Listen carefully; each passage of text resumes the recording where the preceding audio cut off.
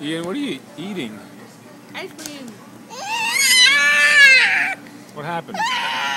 It's too cold? Is that ice Oh, he thinks I'm watching a video. Oh, there you go. He got it back up. I guess it was too good to let go. You like it, Ian?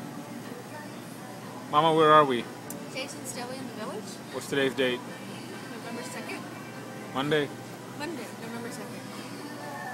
Ian didn't eat much of a meal, but he likes the ice cream cones from Jason's. As you can tell, look at that face. Actually, that was my cone and he took it.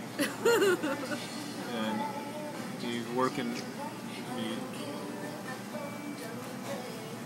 he got part of the cone down, but most of the ice cream is gone. But now he's crunching away at the cone. We clean that, Ian.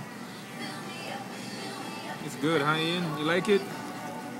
Ian, can you say ice cream? You say trick or treat? Trick or treat? Can you say ice cream?